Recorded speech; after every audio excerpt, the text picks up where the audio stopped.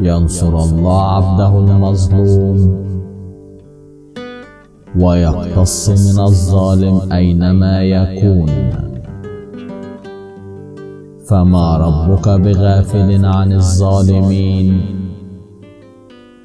فلو شاء لأهلكهم أجمعين. فاصبر وكن من المحسنين.